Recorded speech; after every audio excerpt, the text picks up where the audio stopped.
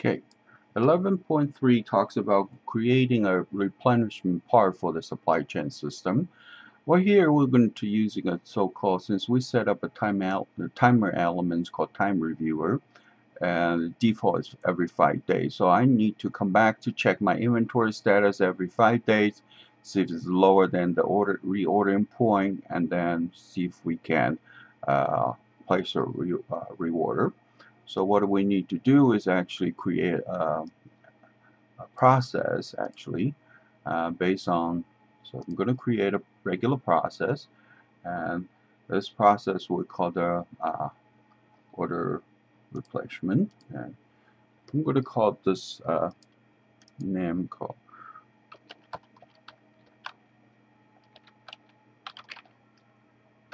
time uh, review okay sorry.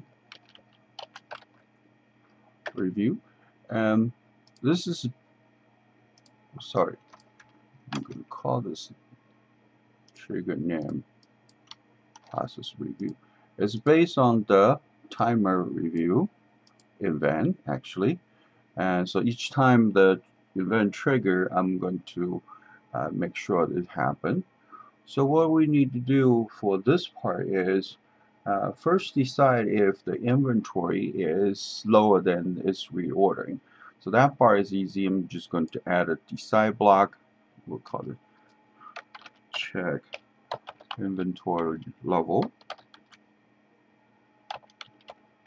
Okay, check inventory level is uh, condition based. If this is a so-called state inventory level is less than reordering point, then I'm going to start replacing inventory, uh, make an order. And after, if I check if the current inventory level um, is lower, so I'm going to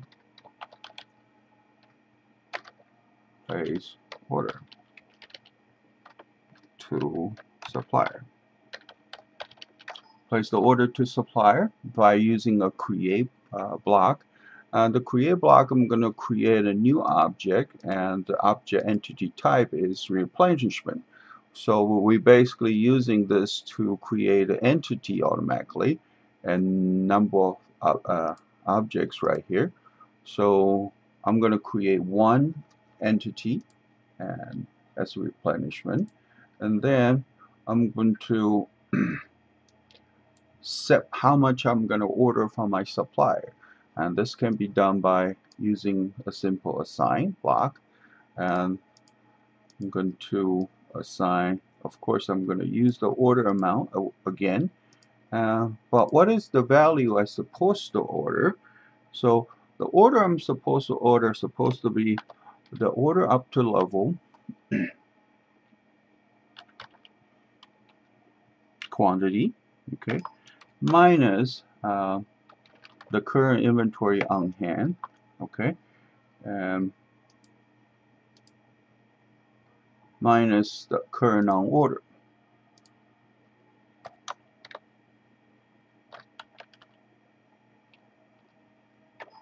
And that's what I'm trying to order overall. So uh, whatever inventory level I want to have subtract the current on hand subtract our uh, amount I already have on order. However, this number can be uh, below zero sometime. So I'm going to using a maxima function. I'm going to order either zero or this level, uh, this level. So this is the order amount I'm going to place. And you can add another assignment down here, but I'm going to use another assignment to illustrate the whole process. And also I need to update the current system on, on order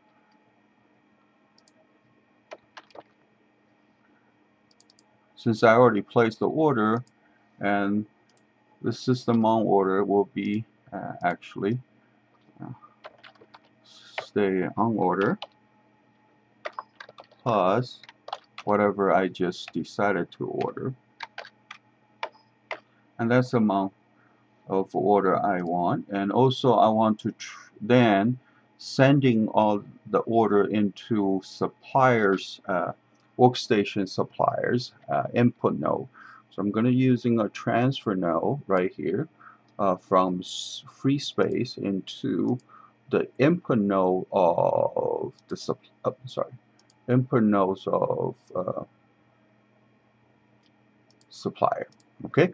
So this is all there's to it for this section.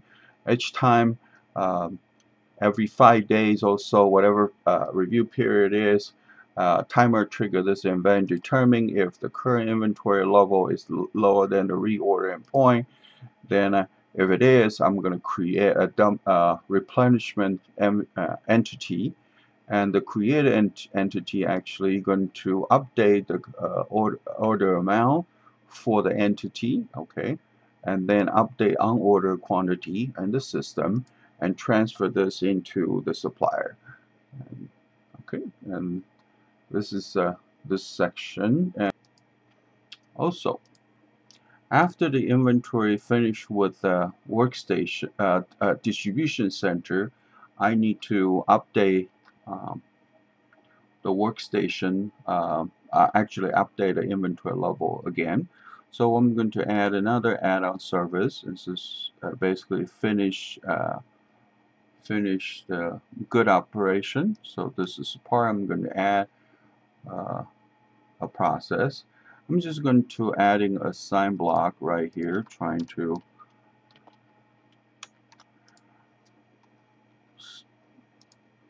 check an inventory. So first I'm going to do is I'm going to update this inventory on hand with whatever uh,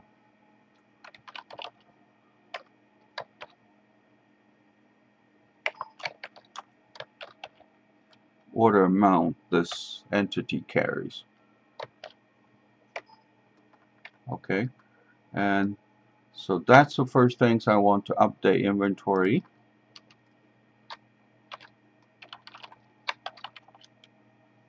Update inventory. Also, I want to update the unorder as well. Because order has arrived, so I need to subtract that quantity from the unorder portion.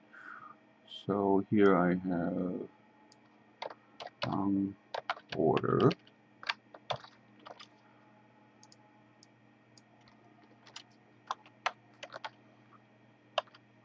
So I need to uh, subtract that amount from the unorder um, portion. So this is uh, uh, the next step I need to do.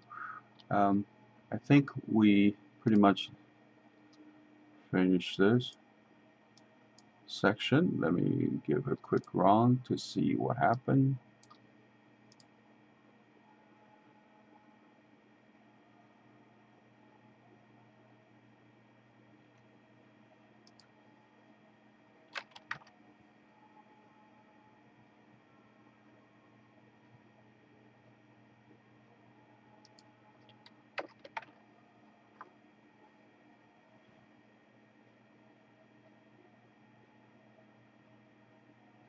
Okay, inventory level is low but hasn't got updated yet uh, because it's haven't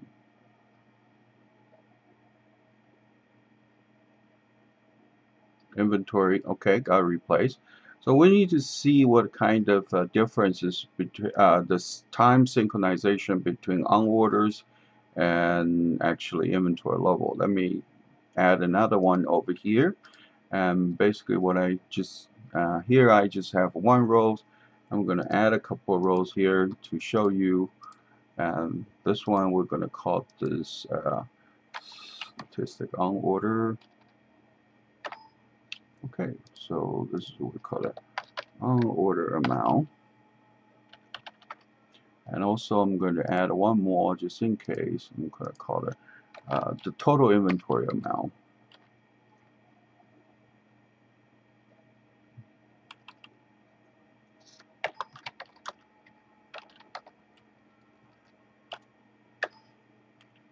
I'm going to call total total inventory. All right. And just to show you a little bit, I'm going to choose a little bit different one. Okay. Distinguish color and let you see how that goes. And you will see the inventory level keeps going down. Currently there's no order needs to be placed. Um, so it, and there's no order outstanding.